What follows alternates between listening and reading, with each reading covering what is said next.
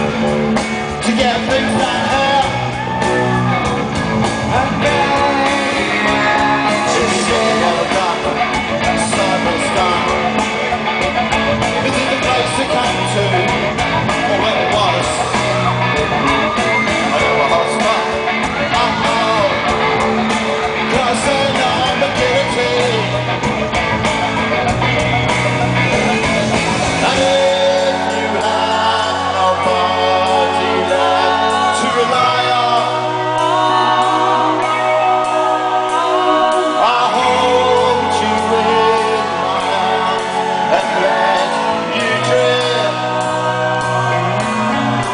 It's got to be that time again